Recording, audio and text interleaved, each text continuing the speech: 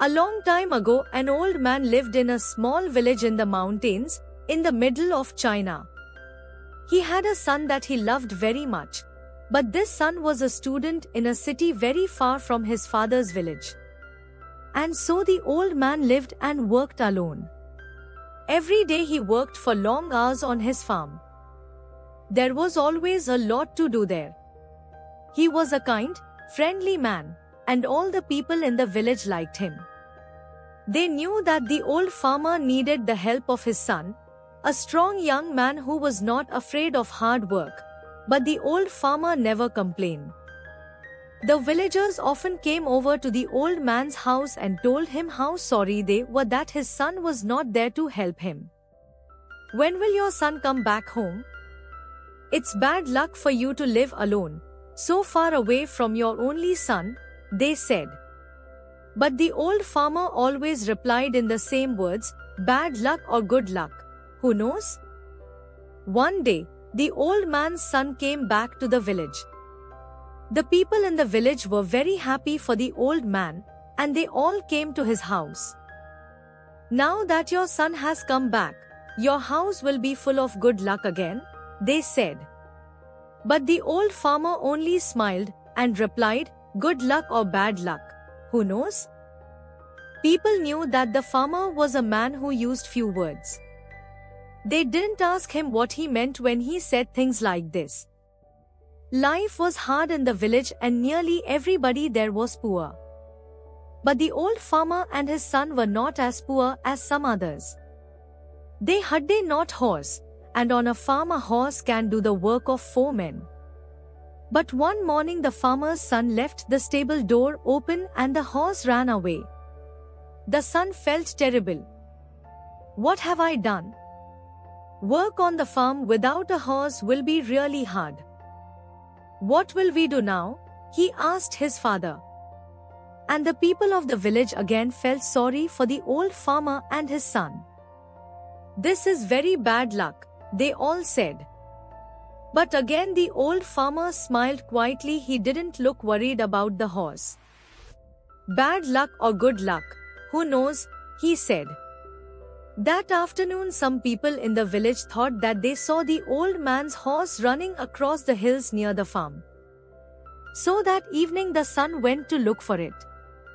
After a few hours he found their horse, quietly eating grass next to a wild horse. The son was able to bring both horses back to his father's farm. When the people of the village heard this news, they were very happy for the farmer. First you had one horse. Then you had no horse. Now you have two horses, they shouted happily.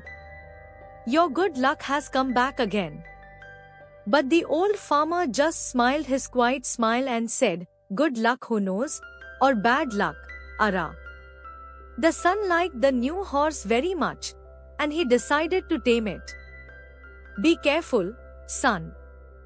You've lived in the city for many years. You don't know very much about taming wild horses, said the old farmer worriedly. Don't worry, father. I know what I'm doing, replied the son.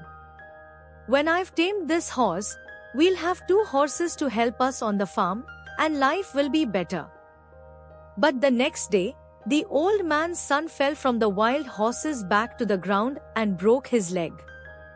Now this was a big problem. A man with a bad leg needs to eat, but cannot work. Once again the people of the village came to the farmer's house to say how sorry they were. First your son was in the city and there was no one to help you. Then your son came back to help you. Now your son has broken his leg, and you must help him. Your bad luck has come back, they said. Once again the father smiled quietly and replied, Bad luck or good luck. Who knows? Some of the villagers were surprised to hear this.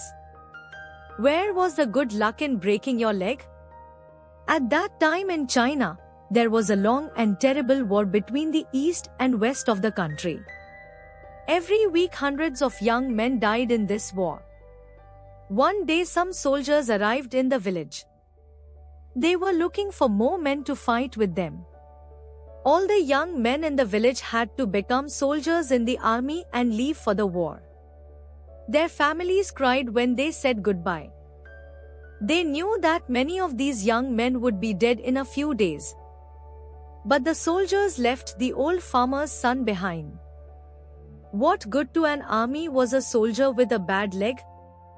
Now the villagers understood the old farmer's words. They went to see him. Your son didn't have to go with the soldiers because he broke his leg.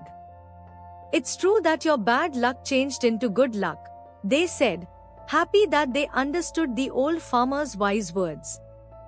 The old farmer smiled kindly at them.